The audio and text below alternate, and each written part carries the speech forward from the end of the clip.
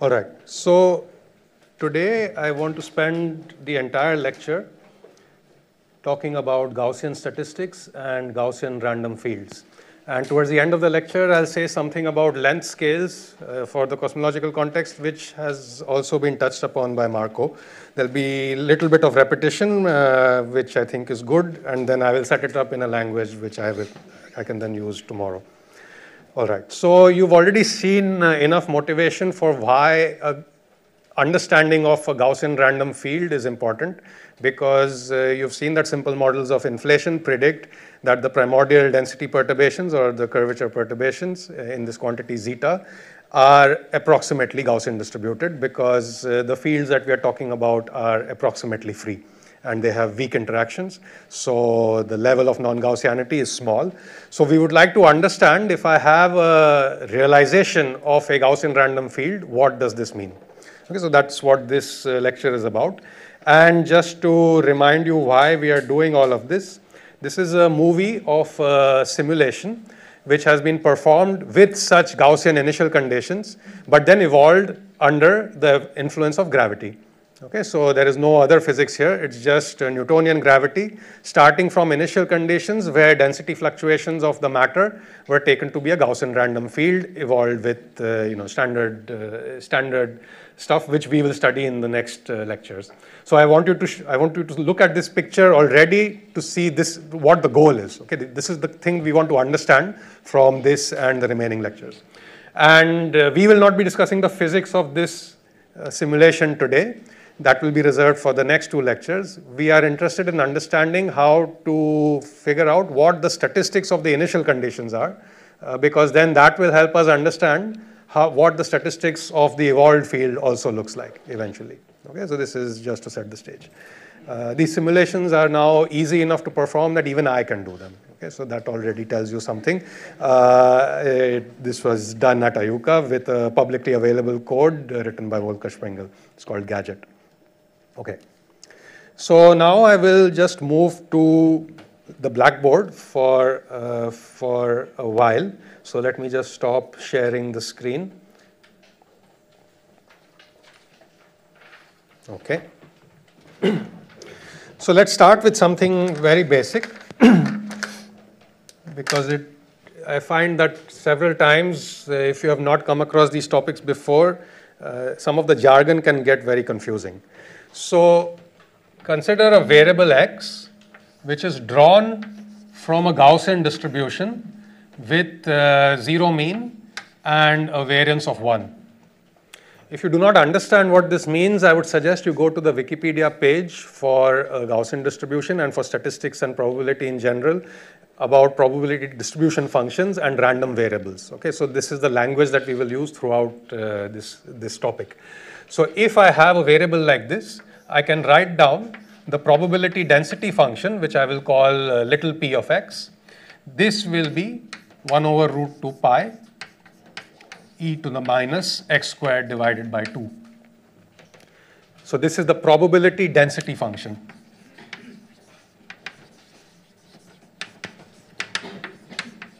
And as the name suggests, this gives you the probability density of x, meaning that uh, p of x dx in an infinitesimal interval dx is equal to the probability that the variable x takes values, that the variable takes values in the infinitesimal range x to x plus dx. Now, I'm not a mathematician, so I will be sometimes, if there are mathematically inclined people here, for you, I will be very sloppy from your point of view. I will not worry about whether these are, you know, there's a square bracket or a round bracket and things like this. I will also not worry about distinguishing between the variable itself and the value that it takes. So I'm calling x as the random variable. I'm also referring to the value that it takes as x uh, statisticians will, will you know, be very annoyed. So the Wikipedia article that I'm talking about, for example, will be careful about such things. Okay, they make all the variable capital X and the value that it takes as little x and so on. So we will not do uh, such, uh, uh such detailed stuff. Uh, so, okay, so this is the PDF, probability density function, PDF. And it's normalized because if I do this integral, this turns out to be 1. And if you don't know how to do this, please look it up in some standard uh, maths textbook uh, where it will show you how this integral can be done. Okay, so now several interesting things can be constructed out of just this simple distribution. For example, you can start taking moments. The first interesting moment is called the mean of the distribution. So here is some notation which I will use throughout. Average, the angular brackets refer to an average.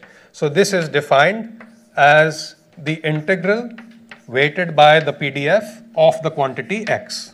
Okay, so the angle brackets refer to this integral weighted by p of x and whatever is inside the angle brackets is the quantity which I have to put here. So now for this, what should this value be? Can someone tell me? Zero. Zero. Okay, and if you don't know why, please do this integral or just stare at the integrand and notice the integration range and uh, this should be clear. Okay, so the mean is zero for the way I have defined this field. The variance is defined like this. It is the expectation value of x squared minus the expectation value of x, the whole squared in general. Here we don't have an expectation value of x, so I only have to calculate the expectation value of x squared. Uh, what will this be for this particular distribution? It has to be 1. That's in fact how I have picked the distribution. And again, you can do this exercise and see how this comes out. All right. And uh, you can go beyond and define the nth moment. And what you can prove for this field is that all odd moments are actually zero. Just you can look at the integrand and argue based on symmetry that these have to be zero. And all the even moments have a very uh, nice numerical form. They can just be represented by this quantity 2n minus 1 double factorial okay, for this particular distribution. It's also useful if you've not done these calculations before, to ask how should I prove this uh, you know, in a reasonably quick way. Turns out that Fourier techniques are very useful. Okay, so and Fourier techniques we will use uh, in a very heavy manner in the rest of the lecture. So let me just uh, quickly show you what happens uh, in Fourier space. So if I consider the Fourier transform, let me call this uh, distribution P with a subscript G, G for Gaussian. Okay, this is my notation, nobody else uses this. Uh, but I like to keep track of uh, the name of a distribution by putting a little subscript there. So the Fourier transform of this PG, this will be a function of the Fourier variable k, which I'm assuming is the conjugate to x. And my convention is that uh, this is defined as an integral over x of uh, e to the minus i k x times uh, pg of x. All right. If you notice the way this integral is written, it is also clear that this is the expectation value of e to the minus ikx. All right? Just from the definition of expectation value. Calculating this integral is a nice exercise in, uh, in contour integration, which if you have not done before, I would really encourage you to do. What I have found is that many people remember the answer to this integral, but if you ask them how to prove it, uh, you usually get into trouble because uh, this integrand does not have any poles anywhere, any singular poles, you know, discrete poles anywhere in the complex plane. However, it has essential singularities at uh, plus i infinity and minus i infinity. So how do you deal with this kind of integral which is on the real line? Okay, so it's uh, you have to be a little bit careful with the contours that you choose and the arguments that you use to apply the the Cauchy you know the Cauchy theorem. Uh, do that, and you will find that the answer is simply e to the minus k squared over two. Okay, have you seen this before? Okay, so I see people nodding. Maybe other people have not seen. So if you have not seen this before, please try proving this. Using this, if I calculate the expectation value of x to the power n, then uh, because this is simply the integral over all of x, sometimes I will not write these integration ranges when it is obvious what I'm talking about. Whenever I write an integral sign without an explicit range, it means I'm integrating over all allowed values of that variable. Okay, so in this case, minus infinity to infinity. And now I have this times a PG. But now for the PG, I can write down the inverse Fourier transform. Okay, And uh, I also know that when, you know, in terms of Fourier conjugate variables, uh, if I multiply by one power of the variable, then in Fourier space, I'm taking that one derivative with respect to the Fourier conjugate. Okay, usually you think of this uh, when you study, for example, fluid dynamics or differential equations. You will have d by dx appearing, and then you'll say, let me go to Fourier space where I'll multiply by k. Here I have x appearing. So if I go to Fourier space, I'll differentiate with respect to k. Okay, so you can then show that this will just be i times del by del k to the power n of uh, Pg, uh, sorry, of the Fourier transform of Pg of k evaluated at k equal to 0 because the Fourier transform has uh, e to the ikx but in this integral that uh, k dependence when you look at the way this integral is constructed you will end up evaluating that in, that quantity the derivatives at k equal to 0 Okay, and then uh, you can do this n by n, right? So for n equal to 0, you can show that the expectation value of 1 is just 1. For n equals 1, you will find that expectation value of x is minus ik times uh, e to the minus k squared over 2 at k equal to 0, which is equal to 0, okay, because there's one power of k, and so on and so forth. So for example, with n equals 2, this is the first non-trivial one. So I will have x squared. This is equal to minus i squared del del k of k times e to the minus k squared over 2. The whole thing evaluated at k equal to 0. And now you can see that there will be a non-zero term, okay? Because although there is a k here, when I differentiate, there will be one term in which uh, it's just the exponential being evaluated at k equal to 0, and this will turn out to be 1, okay? And so on. So you can use this very easily to prove this general identity as well. Okay. Uh, another thing I want you to remember uh, regarding Fourier transforms is that if I just integrate dx e to the minus or plus ikx over the entire range, I get 2 pi times a Dirac delta in k. So this is my notation for a Dirac delta. Uh, when I go to multiple variables, uh, I will use vector notation and I will still use Dirac delta as delta D and then the, the quantity inside will be a vector. Okay, so what are the, suppose X has dimensions of length. Can someone tell me what are the dimensions of uh, Dirac delta of K? So who says 1 over length? Who says length? And who says dimensionless? Okay. The ones who are saying length, can you argue it out for me? Come again? Very nice. Okay, so he's, he's very quick with uh, just looking at things. But suppose I just ask you for the long-winded way of doing it. Uh, okay, so let me give you the long-winded answer. This is a very nice answer. He just saw that there's an integral here. This is dimensionless, so the right-hand side must have dimensions of length, not 1 over length. Okay, so if I think of it in a longer way, kx is dimensionless. So if x has length, then k has 1 over length. And the Dirac delta is a density in k. So it has 1 over 1 over length, which is length. Okay, and then it matches what he said before, that it has units of length on this side. All right, so these dimensional reasonings will also be important as we go along. Okay. Uh, all right, I think I will not need Hermite polynomials in this lecture, so we will skip this. Okay, so the next interesting thing is to modify this distribution a little bit and introduce uh, some parameters. So let's introduce the variance as a parameter. let's call it sigma squared. And we'll assume that this is not equal to 1 in general. So now just by dimensional reasoning, you can argue that uh, this PG, let me also call this PG of x semicolon 1, and I'll call it, uh, and I'll define it like this. So then PG of x semicolon sigma squared, where sigma squared was 1 initially, just by dimensional reasoning, uh, if I say that sigma squared is the variance of the, of the variable, then sigma squared, if x has if x has dimensions of length, what should sigma squared have dimensions of? Length squared.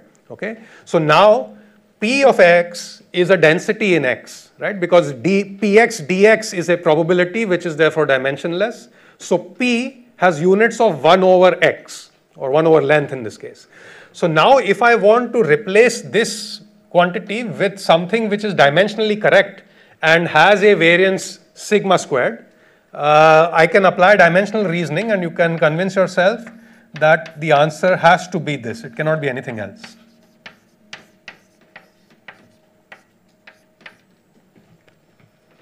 Okay? Simplest way to do it is to just check what happens if I calculate the variance of this distribution now.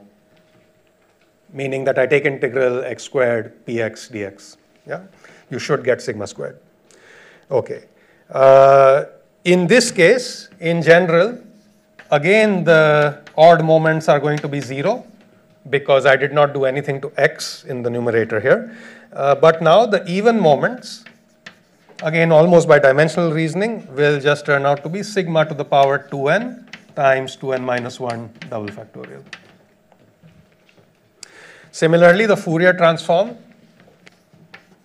of this new PG in k space, this will be e to the minus k squared sigma squared by 2. Okay, and again, you can follow this through all pretty much by dimensional reasoning. Remember, this is just uh, the expectation value again of e to the minus ikx. This is the definition. Okay. Good. We can also introduce a mean for this variable in the problem.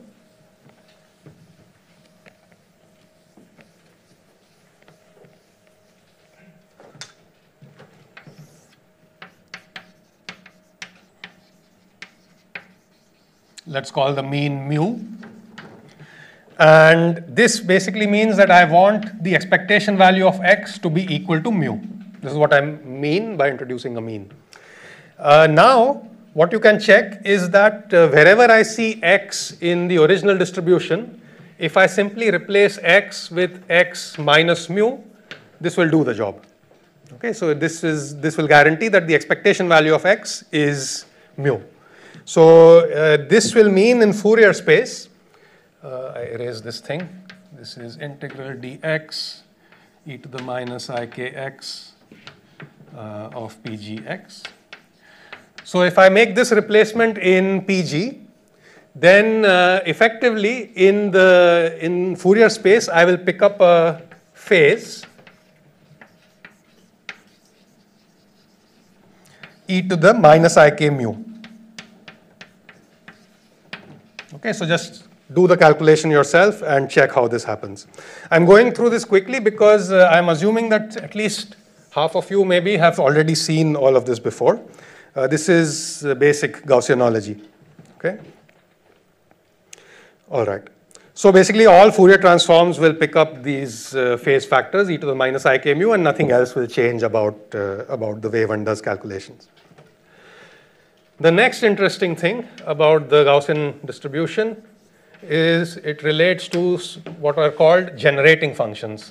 So let's look at the generating function of the Gaussian distribution. A generating function in general for any kind of uh, uh, distribution is that function whose Taylor coefficients in the variable of interest will give you uh, so it is, a, it is a function of two variables. One is the variable of interest and the second is an auxiliary variable. So in terms of the auxiliary, auxiliary variable, if I do a Taylor expansion, the Taylor coefficients have to be the moments of the distribution that you're talking about. Okay, and the moments of the distribution are these quantities, x to the power 2n, x to the power 2n plus 1. This is the 2nth moment, the 2nth plus 1 moment. So this is the function whose Taylor expansion,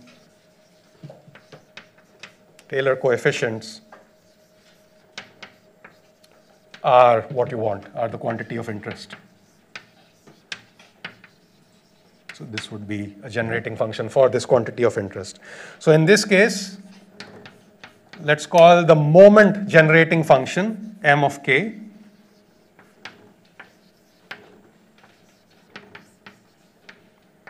This is equal to the expectation value of e to the kx. You can easily see why. Because if I write down this expectation value and I Taylor expand in powers of k, then each Taylor coefficient will exactly be, so for the nth coefficient, I will have expectation value of x to the power n. Okay, that's how the Taylor series will be, will be ordered. So this thing in our Fourier language becomes simply the Fourier transform of Pg, not of k, but of i times k. Okay, because uh, I had defined, uh, when you write down the Fourier transform of Pg, you find the expectation value of ikx. Okay, so what you will then see is that the Fourier transform of ik uh, the, you know, evaluated at ik will give you exactly e to the kx. I think this was e to the minus ikx, right? So this thing is expectation value of e to the minus ikx. So if I replace k with i times k, there will be a minus i squared, which will become 1, and then I'll get exactly this. Okay. This is a nice integral to do it turns out to be exactly this e to the mu k plus k squared sigma squared over 2. So again, this is worth proving because uh, you know, the way, one way of doing this is to write down each x to the power n in terms of the nth k derivative of the Fourier transform, right? And then you can uh, go from there. Yeah and you'll have to recognize a particular Taylor series, which is the Taylor series corresponding to the exponential of this quantity. Okay, so try doing that. This is the moment generating function. And the most interesting part of this generating function process for Gaussians is the so-called cumulant generating function. Maybe I should not write so low. Let me write it here.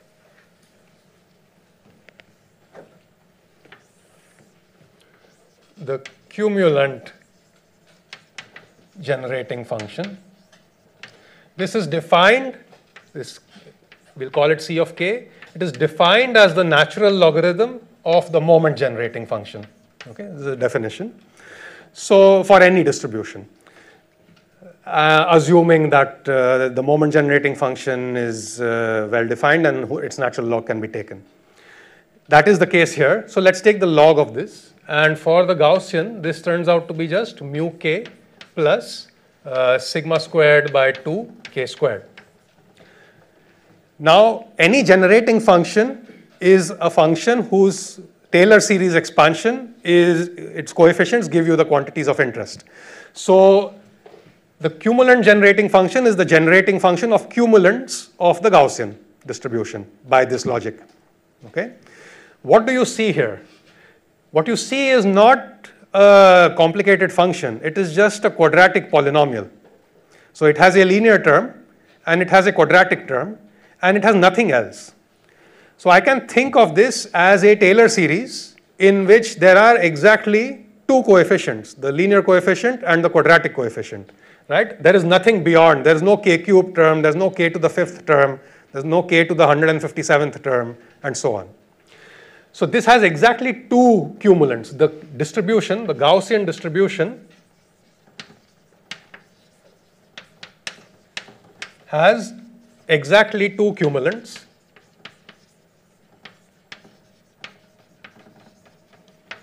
Which are the mean and the variance. Okay? This is the defining property of the Gaussian. So these are the mean and variance. And this statement is the defining property of a Gaussian.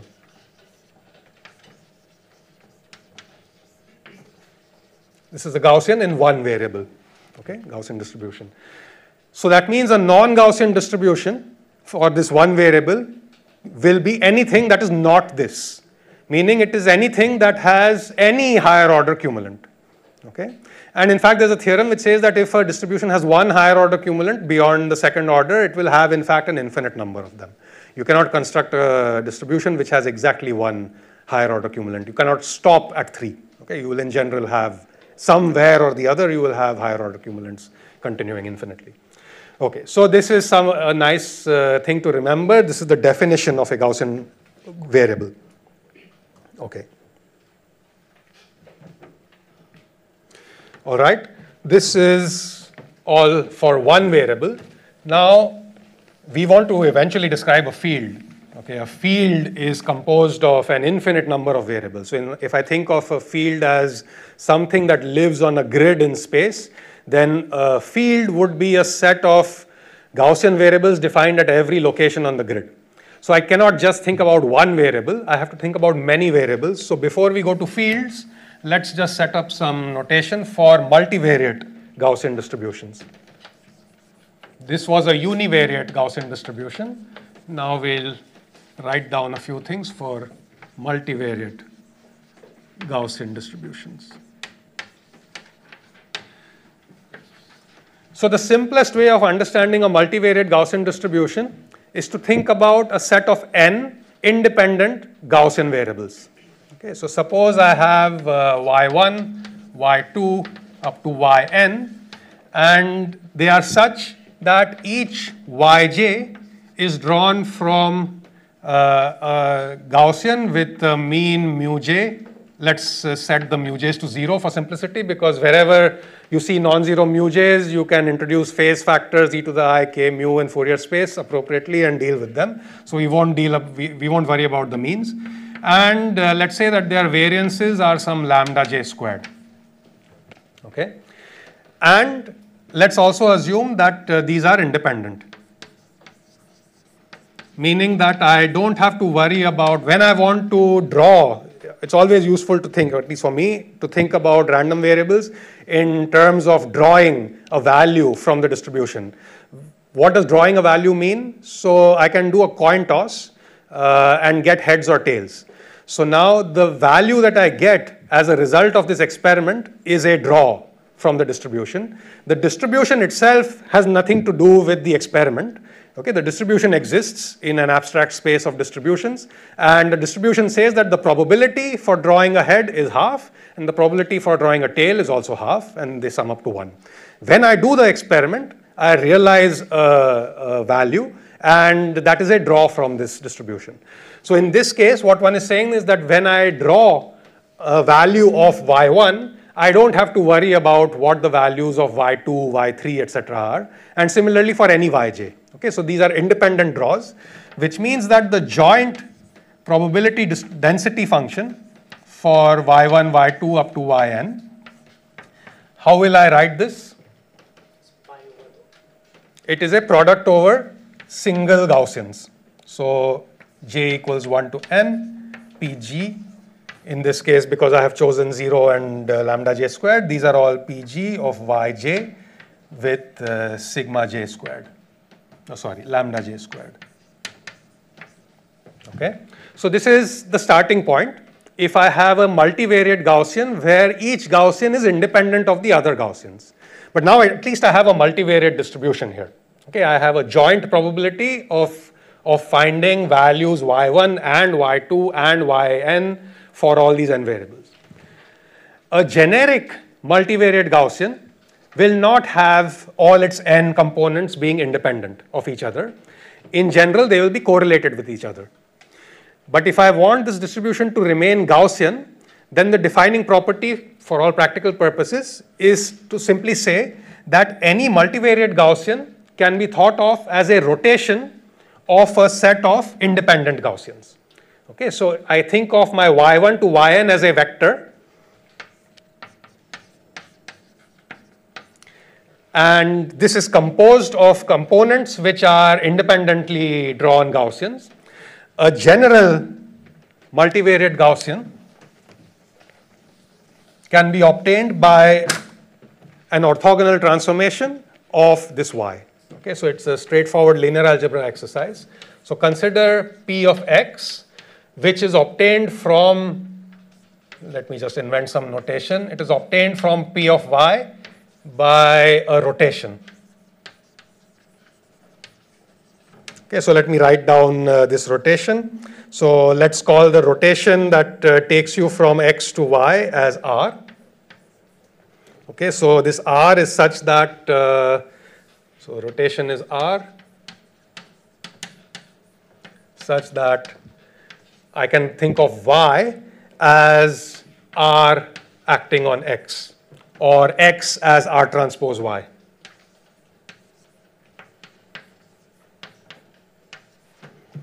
All right? So now think about what this will do to the distribution. Okay? What I want to say is that the probability, the probability density is such that the probability to be in an infinitesimal volume in Y space should remain preserved under this rotation. Okay, because I'm just doing a rotation, so I'm not really changing anything about the distribution function itself. So if I think of the probability density as this, dny p of y, and I apply a rotation, it's completely straightforward uh, change of variables now. Okay, and I know that the infinitesimal volume element in y space will remain unchanged under an orthogonal transformation.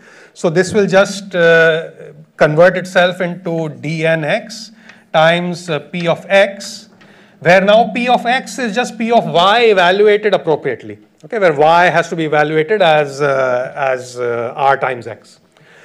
So what you will then see is that I need to now think a little bit carefully how to represent this, uh, this quantity that I get on the right hand side.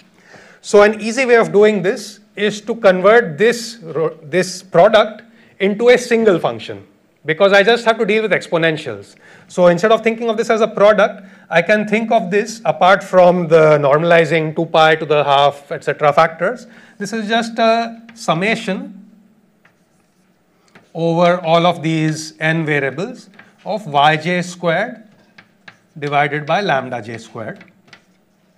Okay? But I can think of a summation in terms of matrix algebra right? So I can think of this as a vector transpose times a diagonal matrix times the vector itself. So this is also equal to e to the minus 1 half uh, of uh, y transpose times some matrix lambda inverse times a y. Okay? Yeah?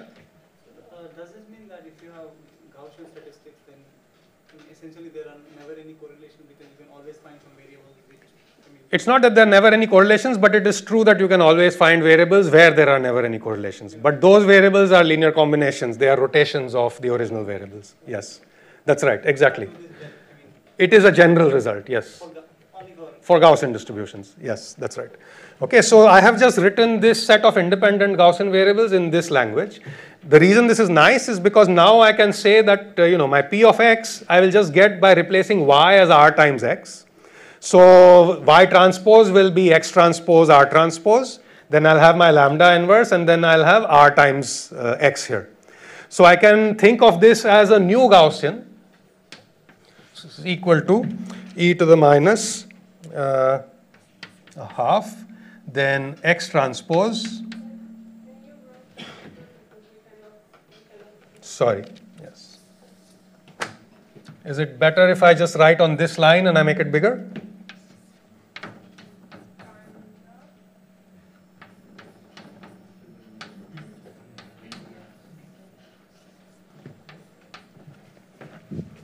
Uh, okay, let me, let me write it and then I'll just tell you what I've written. Maybe that will also help. This is R and then this is X. It's so what I've just done. Screening. It's also visible. Yeah, yeah, yeah. Anyway, I can just talk about it also. So this is just uh, the same thing as before and I have applied the rotation here. Okay, and then the, the volume element does not change. So what I can see here is that if I think of this quantity, what is this quantity? It is a square matrix, right? It's just a rotation, it's a similarity transformation or it's the rotation of the matrix lambda inverse. If I call this C inverse, then I have something that looks exactly like the previous Gaussian, which was y transpose lambda inverse y. Now I'll have x transpose C inverse x. But C is not a diagonal matrix anymore. This lambda, lambda inverse, Lambda inverse is a diagonal matrix with uh, 1 by lambda 1 squared, 1 by lambda 2 squared, 1 by lambda n squared on the diagonal. Okay, and therefore lambda, which is the inverse of this, will just have lambda squares on the diagonal. Uh, this C or its inverse is not a diagonal matrix anymore. But that's all that has happened. Okay, so uh, multivariate Gaussian distribution, at least from me, this is the easiest way to think about it. It is a distribution of a set of variables x1, x2 up to xn, which is defined by saying that its probability density function has this particular form, e to the minus x transpose times the inverse of some matrix, which is a real symmetric matrix. Not only is it real and symmetric, because I have chosen to define this uh, starting from these independent Gaussians, I have naturally introduced the variances of each of these variables into my, uh, into my calculation. The variance of any Gaussian is a positive quantity. Okay, at least it cannot be negative. It could tend to zero, but it cannot be negative. So all of these numbers have to be uh, non-negative, which means that the rotation that I get of this diagonal matrix is a positive semi-definite matrix. Okay? So just to summarize, Gaussian distribution, and let me just show you what the thing looks like with a mean thrown in. Okay, so PG with X minus mu with a covariance matrix C. This C is called a covariance matrix. This is 1 over 2 pi to the n halves uh, times uh, square root of the determinant of C times e to the minus 1 half x transpose, sorry, x minus mu transpose C inverse x minus mu. Okay, where mu is a real vector of dimension n. This will be the mean vector of the Gaussian, which I set to 0 initially, but you can easily put it back. And the, more, the most interesting thing is this C inverse, where C I can think of as uh, this expectation value. So it's x, x transpose minus uh, x times x transpose. Okay, or in terms of components, Cij is xi, xj minus expectation xi, expectation xj.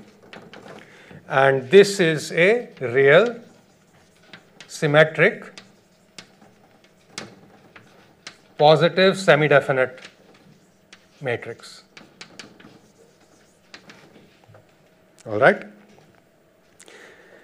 And you can use this uh, set of tools to analyze almost everything about Gaussians. Because, for example, you could work in Fourier space by first doing the rotation, I give you a Gaussian, okay, and I tell you here is its mean, here it is covariance matrix. This covariance matrix does, has off diagonal elements and it's very complicated. I want to calculate the nth moment of the fifth variable. How will I go about doing it? Okay, so one way of approaching the problem could be you start with your distribution, you find the rotation which diagonalizes the matrix C. That will go backwards in this calculation and reach this stage. Okay, so now I have to ask for the variable x5 to the power n, uh, what does it mean in terms of the linear combination which is implied by the rotation? Okay, but I can do this in Fourier space in reasonably straightforward ways, uh, and you can calculate uh, various things. So I will give you a couple of uh, homeworks here on the board uh, to try at home. These are just some useful exercises in Gaussianology which uh, turn out to be interesting in many, many contexts, including, by the way, in the statistics part of the course that you will be dealing with. Okay, so there also, if you deal with Gaussian distributions for errors, all of these things will apply. So I will not spend any time on this. I just want to mention it. Marginalization. If I take a n-dimensional Gaussian, let's call it Pn, of x1, x2 up to xn. And I want to marginalize the nth variable. Marginalize the English word marginalize means to render irrelevant. Okay, a population of people is marginalized by oppressors. So uh, I want to marginalize the, the nth variable. This means that I don't want to care about what value this nth variable takes. But I do care about all the other variables. So I will integrate over the probability density of the nth variable. Okay, so let's construct the integral dxn over all allowed values of this pn, which is a function of x1, x2, etc., xn minus 1 and xn. Prove that this for a Gaussian, so this is a, let's say, a Gaussian with uh, mean mu, and I'll also be a bit sloppy about vector notation, uh, just to tell you that we're not talking about uh, single variables. So sometimes I'll use this, sometimes I'll use this. They all mean vectors. Okay, and there is a covariance matrix uh, C and a mean mu. And the covariance matrix is, uh, it has off diagonal elements in general.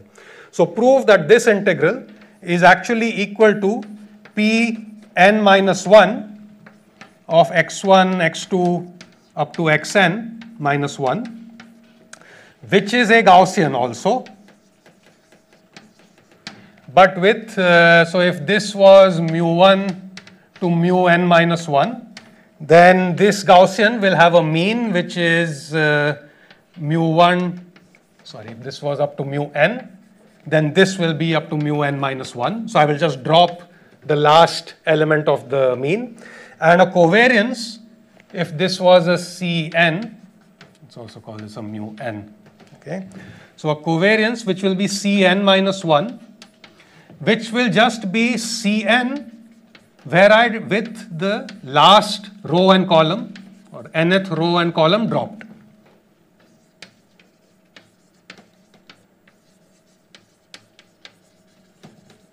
Okay.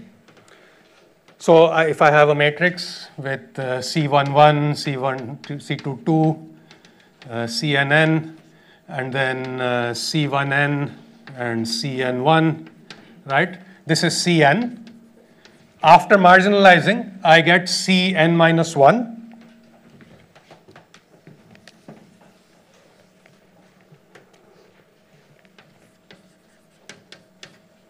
in which I will just uh, get this thing without the last row and the last column. Okay, so this has to be proved. And again, Fourier techniques are very useful for proving this. Mehrdad, how am I doing for time? Half an hour more. Okay. Is there a physical example where we can kind of understand what is happening with? What does it mean? I'll have to think a little bit. Uh, I'll, I'll, I'll get back to you on this. If I start thinking now, it'll take up time for the rest of the. Okay. Uh, all right. And uh, while doing this calculation, it is also useful to keep in mind the Fourier representation of this multivariate Gaussian. So let me just write it here. This can be thought, this can be written as an integral in Fourier space over a k-dimensional, sorry, an n-dimensional k vector. This Fourier representation is actually extremely useful, so let me just write it down once. E to the i k transpose x minus mu. These are all vector operations times e to the minus k transpose c k by 2 in the Gaussian probability density function itself, you see that there is a C inverse appearing for dimensional reasons almost, right, as we argued before. In Fourier space, on the other hand, the exponential contains a C. This is almost on its own the reason why you should always prefer to work in Fourier space when dealing with Gaussian distributions, because you work with the covariance matrix itself rather than its inverse. And whenever you have to do any calculations with the inverse of the matrix, even numerically, etc., it becomes much more challenging. Okay, so the fact that C appears here is a, is a very useful thing. Okay, so you can start with this and try to marginalize. All right. Another interesting aspect of these uh, distribution, Gaussian distribution functions is the idea of a conditional distribution. So I will again not spend much time, but uh, imagine if I have a bivariate Gaussian, P of x1, x2, uh, which I can think of as d2k e to the i k transpose uh, x minus mu, uh, whatever. It's just this, right, here with uh, mu equals mu1, mu2. And C, because it's a 2 by 2 matrix, let me write it in this way sigma 1 squared, sigma 2 squared, C1 2, C1 2. It's real, symmetric, and I'm assuming that it is positive semi-definite. So C1 2 has to be chosen appropriately. Okay, it cannot be arbitrarily chosen. So now what I'm interested in for this part of the calculation is in understanding if I know the value of x1 what is the probability density of the value of x2. So this is the conditional probability p of x2 given x1. You can apply Bayes theorem, okay, and uh, this will be a ratio of two probability densities, p of x1 comma x2 divided by p of x1. And you can argue that uh, this is actually another Gaussian, so please do this, figure out why this is the case, either by brute force or by some clever trick. Uh, this is a Gaussian in x2. It's a univariate Gaussian. We started from a bivariate Gaussian and we conditioned on one variable. Earlier we had marginalized over one variable by integrating out all its values. Here we are conditioning on a variable by saying we know exactly what value that variable x1 takes here. Okay, and this turns out to be a Gaussian in x2. If it is a Gaussian, it has to be defined by what? Two numbers, right? Which are what? The mean and variance of this thing. So we invent notation, or I mean, this is standard notation. What we want is the mean, but it's not a, the complete mean, it is the conditioned mean, okay, conditional mean, and the conditional variance. So let me call that as variance of x2 given x1. And uh, you can prove that this will be equal. Let me just not screw up the, the calculation. This will be equal to the mean which it had if I didn't care about x1 plus a correction which depends on x1 and it depends on the off diagonal term in the covariance matrix. Okay, and the rest almost follows from dimensional analysis. I'll get a x1 minus mu1 here. Okay, so this is a useful thing to prove. And similarly, the variance of x2 given x1 will be the variance that x2 had uh, if I didn't know anything, which is sigma 2 squared. But now it will be reduced because of the presence of the off diagonal term because I will get a C12 squared divided by sigma 1 squared. Okay, it, it is reduced because there is a square here and sigma 1 squared is also positive. All right, and this is nice to uh, interpret because what you're saying is that I had some uncertainty if I think in terms of errors. I had some uncertainty in x2 if I didn't worry about x1, but x1 and x2 are correlated. So if I put in some information into the system saying that I know the value of x1, then the uncertainty in x2 has decreased. It must decrease, okay, because I have put in some information and therefore reduced uncertainty. And the amount by which the uncertainty has decreased is exactly given by the correlation between 1 and 2, x1 and x2. Okay. Aseem, Yeah. I have a question. It's not, it's not normalized anymore, right? Uh, is what normalized? It's not this uh, conditional P won't be a No, it normalized. will, no, no, it is, it is. Because, no, so I'm saying this is a Gaussian with this mean and this variance. So the calculation, if you go through the correct uh, algebra, will lead to a correctly normalized Gaussian, which has a mean and a variance, which is given by this.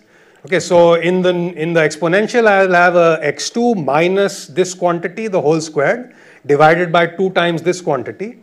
And the prefactor will be 1 over square root 2 pi times the square root of this quantity. This will work out from the algebra, yes. And again, Fourier techniques are very useful in proving this. Okay, so with this setup, let us move to the object of interest, which is now a set of Gaussians, which is defined on, to begin with, let's imagine a discrete grid in space. So here is a point, here is a point, here is a point. At every point, I, I declare that there is, that there exists a variable which is Gaussian distributed. Okay? And the collection of these variables at each of these points forms a multivariate Gaussian. But I am talking about spatial grid, so instead of calling it a multivariate Gaussian, I will call it a Gaussian field, okay, because it's defined on a spatial grid. And that's the only difference between a multivariate Gaussian and a, and a, a Gaussian random field, it's just uh, nomenclature. There is, a, there is another difference if I want to take the continuum limit of this uh, spatial grid. Okay, if I want to make the grid cells very, very small, for example, then uh, I have to do things a little bit carefully. Okay, and this is what we will, we will study here. All right. So now, as I have argued repeatedly, it is always useful to work in Fourier space. And in fact, in the inflationary context, this makes a lot of sense because you have already seen in the previous lecture that the Fourier modes, the momentum space modes of your uh, density fluctuation field are the ones that are approximately uncorrelated with each other. Okay? There is one subtlety about uh, correlations versus independence, which it is worth emphasizing. If I tell you that P of x1 and x2 is equal to P of x1 times P of x2, then x1 and x2 are independent variables.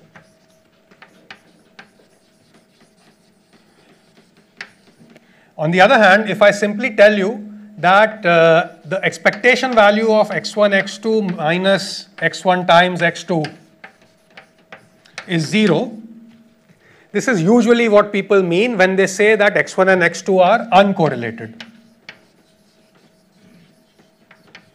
So in general, I can have a, a bivariate distribution of x1 and x2 where this is satisfied, so the variables are uncorrelated, but I cannot write the distribution function in this separable form. So the lack of correlation does not imply independence. Okay? Independence will imply that uh, there is a lack of correlation. For a Gaussian set of variables, however, the lack of correlation does imply independence. Only for the Gaussian distribution, this is true. Okay, so this is just something uh, worth remembering.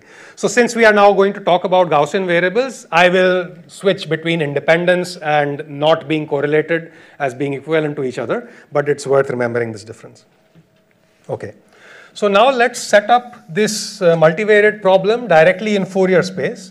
So instead of working with uh, the values of delta at positions, at vector positions x, okay, I will instead work with the values of the Fourier transform of delta. So my Fourier conventions are like this. Delta x uh, is uh, an integral over the volume of d3, sorry, I'm writing this wrong. Delta k is the integral over the volume d3x e power minus i k dot x uh, times uh, delta of x. And I'm imagining that I am living in a cube of side L. Okay, so this volume is L cubed here. So just for simplicity. And correspondingly, because this is a finite box, my delta x will be written as a sum over discrete k modes, e to the i k dot x times uh, some variable delta k. So this variable delta k is the Fourier transform of delta x in this discrete calculation. Okay, so it's a partially discrete Fourier transform. It's discrete in k because there is a finite volume. Eventually, we'll take a limit in which the volume goes to infinity and the discreteness in k becomes an integral over d3k. Okay, so we'll take the continuum limit later, but it's useful to work with discrete calculations just now. Okay. So now delta k it's the Fourier transform, and by definition, the Fourier transform is a complex number. Okay, so I can write delta k as some ak plus i times bk, where ak and bk, the labeling is by k, the Fourier mode, and the a's and b's and the deltas are the variables of interest. Okay, these are the random quantities. So ak and bk are both real numbers, and therefore delta is a uh, complex number. So now if I look at this, uh, the definition of a Gaussian random field,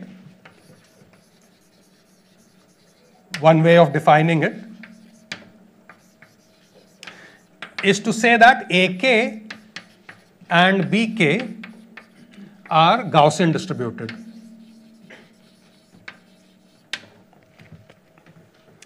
But now if I look at this expression, if AK and BK are Gaussian distributed, this delta K looks like it is a sum of Gaussians, except for the fact that there is a square root of minus 1 sitting here. So this I can think of as a weighted sum of Gaussians. And one nice property about uh, Gaussians is that if I have x and y to be Gaussian distributed, then the quantity z, which is x plus y, is also Gaussian distributed but with a mean and variance which are different from the individual means and variances of x and y. Okay, so if this is, these are Gaussian distrib- distributed with mu 1 and sigma 1 squared, and this is mu 2 and sigma 2 squared, then this z will be Gaussian distributed with a mean mu 1 plus mu 2 and a variance which is sigma 1 squared plus sigma 2 squared. Again, a very simple exercise if you work in Fourier space and use this uh, generating function. Okay? So if this is, if I apply this logic here, then AK and BK being Gaussian means that delta K is also going to be Gaussian except for this complex nature here.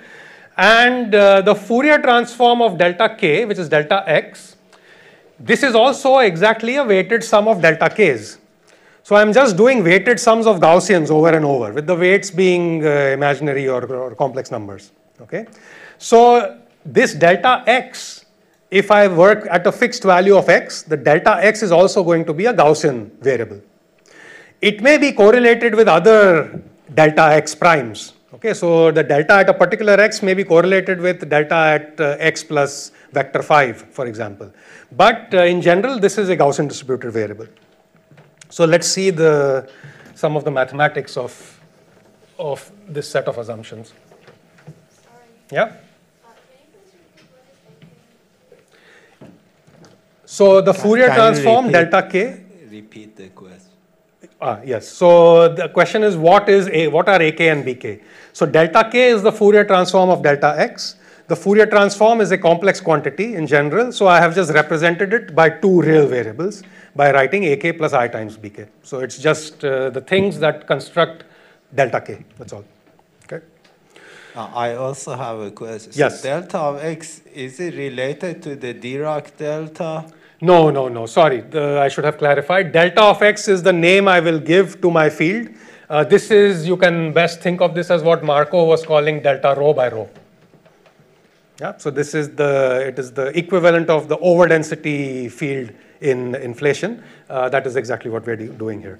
Yes, sorry about that. I should have probably used a different notation, but everything is, is in this language now. Okay, so let's do, let's impose some conditions on this Gaussian random field. Uh, we believe, okay, so there was a discussion about homogeneity and isotropy yesterday. And we argued that the, the actual universe is not homogeneous and isotropic because there are galaxies here and there and everywhere. Even the CMB is not perfectly isotropic.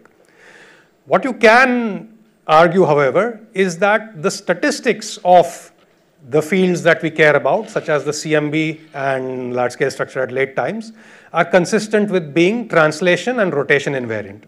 By statistics, I mean any expectation values that you take of the fields of interest should not care about where you sit in order to take the expectation value. Okay, so your location of uh, sitting at a point and taking a correlation between this point and the neighboring point should not depend on the choice of where you choose where you sat particularly. Okay, so let me be clearer about this. So take the two point function delta x and delta x plus r multiplied with each other and I take an expectation value. Translation invariance will say translation invariance will say that this cannot depend on x, it can only depend on r. Okay, if I, uh, or if you don't like this, uh, think of this as delta x1, delta x2. This quantity cannot depend on uh, x1 or x2, it can only depend on the vector difference between the two, x2 minus x1 or x1 minus x2. So this is called translation invariance. It, I mean, it is translation invariance. It is also called statistical homogeneity. So the universe is not homogeneous, but you can try to assume that it is statistically homogeneous and then ask uh, whether this is a reasonable assumption. Here now you're taking spatial. Okay, so I am still taking ensemble averages here. So I have not yet uh, done spatial averaging. I have not invoked a ergodic hypothesis or something. Because I am saying that I know the stochastic process which is generating this uh, randomness. And I am given a box in which every location has a Gaussian random variable. And I am capable of, uh, of generating thousands and thousands of such boxes by resampling the stochastic process. Thing, uh, Yes. here you can't remove the population, right? I cannot remove what? I mean, here, can you do the same let's let's work with this. Uh, you'll, this will become clear. The question was, can we cannot go to other variables to rotate, etc. Let's keep working with this for a second. Okay, so uh, this thing is it's independent of x. So now look at what this says in Fourier domain. So this will be a summation over k, summation over k prime, one for this, one for this one, uh, of e to the i k dot x, then uh, e to the minus i uh, I'm just using convenient uh, complex conjugation at appropriate locations. So this is x plus r. Because delta x is real, so I can just write delta x as the complex conjugate of itself. Okay, and that complex conjugate gives me a minus sign here. And now I will have an expectation value of delta k times, uh, sorry, I should have a prime here, and a delta k prime complex conjugate here. Okay. So now I'm saying that this, I mean, this is just mathematically equal to this, but I am demanding translation invariance of this quantity. So that means that the, the x dependence that is contained here should vanish, right? Because otherwise this quantity would depend on x. And I hope you understand why the expectation value has gone and sat only on the deltas because nothing else is a stochastic variable. These are just functions of k and x. Okay, this is the stochastic quantity. The x dependence is not sitting in the stochastic quantity in k space. The x dependence is sitting in these functions and I want to kill it. How can I kill it? I have to make sure that k and k prime are the same, okay, somehow.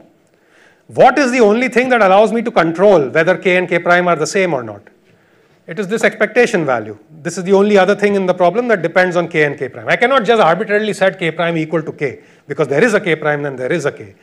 But there is a dependence here which has not been specified yet. So that freedom exists. And if I want to demand translation invariance, then I have to make sure that this expectation value is proportional to a Kronecker delta in k and k prime, which will fix k equal to k prime. And then one of the summations I can do, and I'll be left with a second summation. Okay.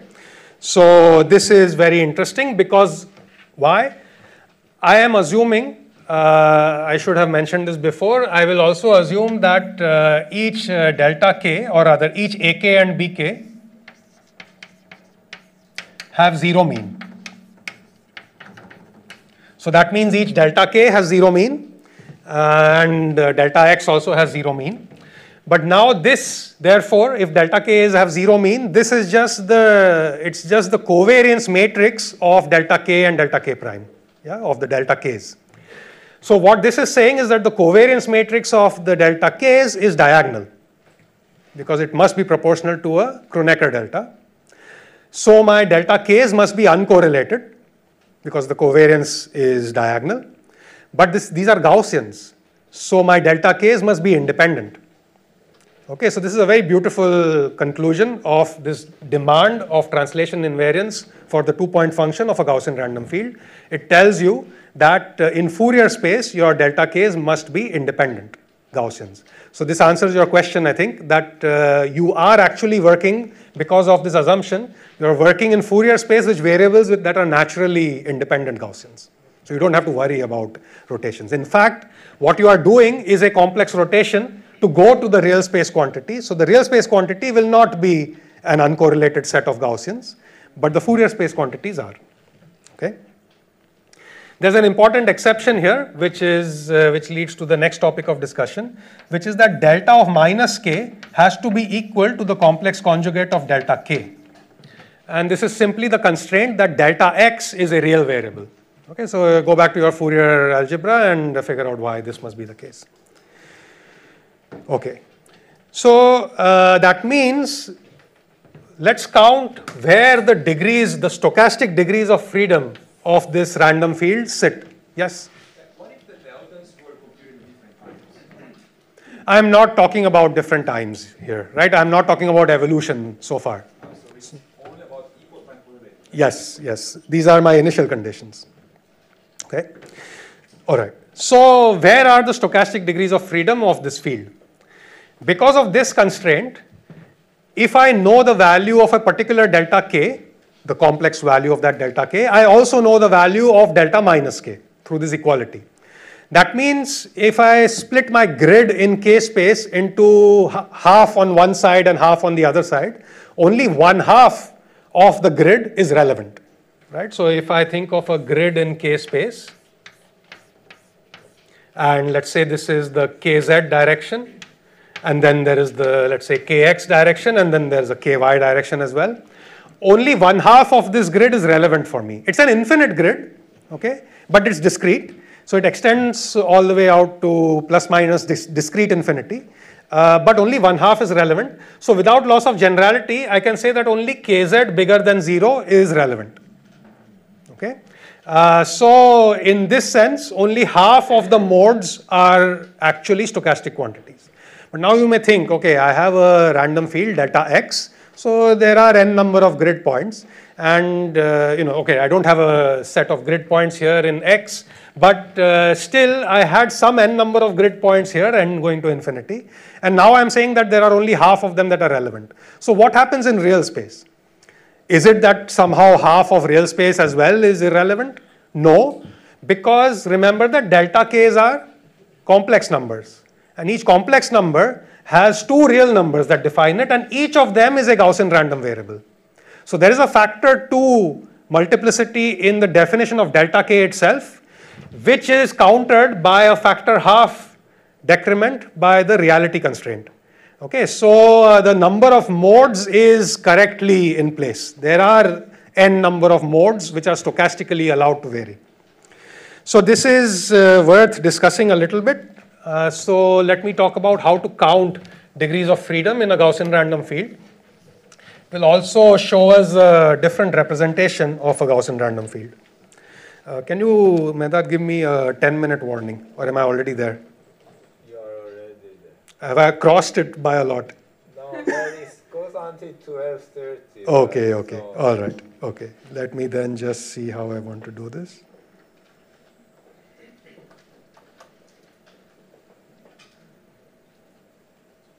Okay, so I will not talk about length scales. Uh, what I will show you is this counting, and then I will show you some interesting consequences of, uh, of uh, what follows from here. Okay. All right. So now let's say that I am uh, considering these k bigger than zero modes, by which I mean without loss of generality, kz is bigger than zero, and then the other ones extend in both directions. And I have delta k is ak plus ibk. Then the distribution, the joint distribution of AK and BK, let me call it little g of AK and BK. Uh, to be quick, I am not going to write vector signs on the k's, okay, but they are of course vectors. So this is a Gaussian distribution by assumption, and the other assumption is that AK and BK are independent Gaussians. Okay, so this is part of my defining quantity. Uh, AK and BK are independent Gaussians. Let's put it down here. So then this thing just becomes 1 over 2 pi times uh, some, let's call it uh, lambda k squared, e to the minus 1 by 2 lambda k squared, uh, ak squared plus bk squared times uh, dak dbk. Okay, this is a joint uh, distribution of independent Gaussians. So the PDF of all the modes, if I call it some P of the collection of delta Ks, this is just going to be a product over all of these K bigger than zero modes. So I should call this a GK, GK of uh, AK and BK. Okay, because I'm saying that my modes are independent because of that translation invariance argument.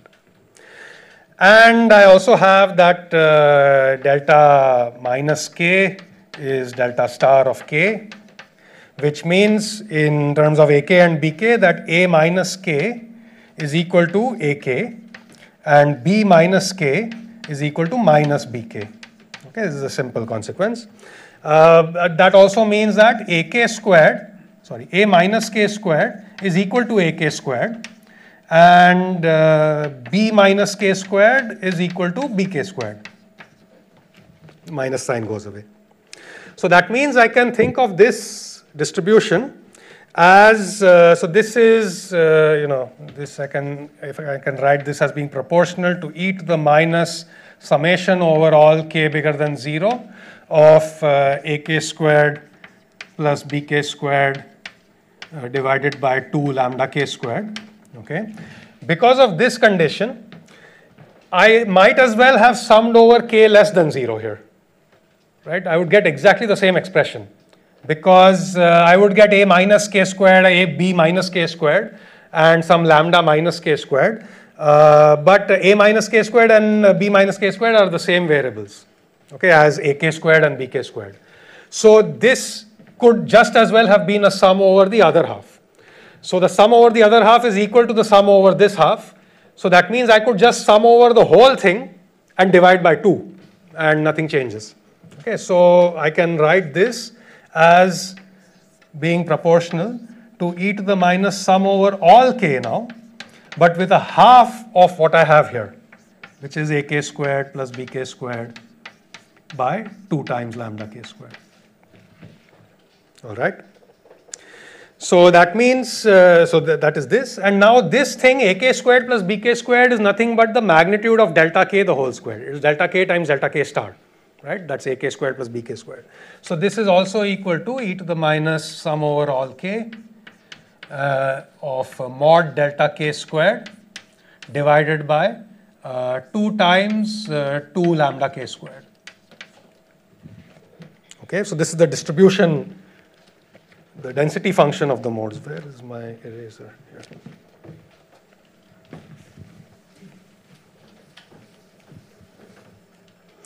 And this finally brings us to the concept of the power spectrum. So let's define P of k as 2 times lambda k squared. Okay. So now this finally starts looking like a Gaussian distribution with a variance which looks like P of k. Okay, so the PDF uh, of the modes is proportional to e to the minus uh, 1 half sum over all k of mod delta k squared over pk in this language. All right. So this is where the power spectrum enters. There's another way of thinking of this where I write delta k. Instead of writing it as ak plus IBK, I can write it as an amplitude rk times a phase e to the i phi k. It's an equivalent way of writing complex numbers. Okay, rk and phi k are real. I can ask if delta k has is constructed from ak and bk and has this distribution where dak, dbk, g is given by this. What is the corresponding distribution of rk and phi k? I can change variables from AKBK to rk, phi k. And again, conservation of probability will tell me that uh, this gk in terms of rk and phi k times drk d phi k. Uh, I will not prove this, but you please check. This I can write in the following way. d phi k by 2 pi times d of rk squared by pk times e to the minus rk squared by pk. So the magnitude squared of the Gaussian field is Rayleigh distributed. It's exponentially distributed okay? And the phase is uniformly distributed. And the phase and the amplitude are uncorrelated. They are, in fact, they are independent because I can think of this as a product of two PDFs, right? And because the G's for individual K's are just multiplying each other, it also means that this entire thing is independent of the amplitudes and phases of all the other modes as well. Okay?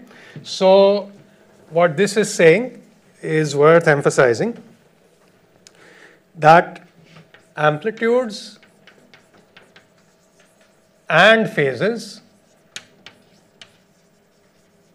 are independent. They are more than uncorrelated, they are independent. So now non-Gaussianity can show up in any form that violates this. I can think of this as the defining property of a Gaussian random field, right? Because everything that I started with has led to this. These are all implications of the original definition, so I might as well use this as the definition. Uh, so if the amplitudes and phases are independent, then in a non-Gaussian field, I could have amplitudes being correlated. I could have the phases being correlated or I could have the phases being non-uniform. Okay, all of these would give me a non-Gaussian field in general. So uh, let me kind of stop here. Okay, maybe just one last mathematical thing to just emphasize the fact that in real space uh, things may be correlated. Uh, consider the two-point function. We actually saw this. Okay, so uh, let me write down an answer here and uh, you can think about this, uh, this, this statement.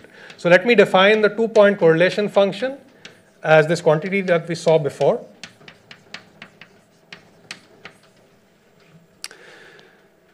You can show that this quantity, okay, and you have to do a couple of other things, which I did not do here. You have to take the continuum limit.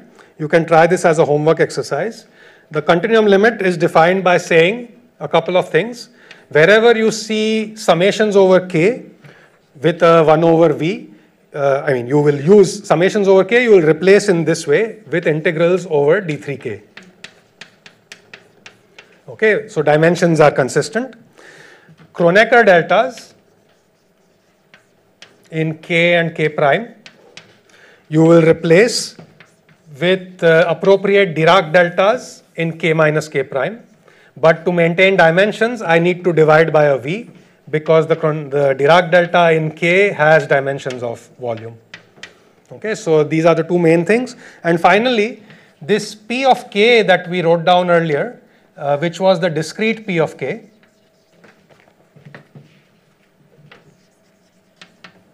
this I will replace with v times a continuum p of k so I will make all these replacements and then I will say V goes to infinity. Okay? And what you will then find is that the power spectrum expression uh, becomes this. So earlier in the discrete case, I had delta k, delta k prime star uh, was equal to a Kronecker delta in k and k prime times the p discrete of k. This will become delta k delta k prime star is equal to 2 pi cubed Dirac delta k minus k prime times the continuum p of k. Okay, this is the usual way in which in which one writes uh, the power spectrum. And finally, you can use this to prove that now xi of r is actually just the Fourier transform of p of k. Okay, so this will turn out to be just the integral d3k by 2 pi cubed e to the i k dot r of p of k. Okay. I have not talked about uh, rotational invariance here. Uh, in the interest of time, uh, maybe we can use the discussion session for this. But I just wanted to show you a few images and then stop.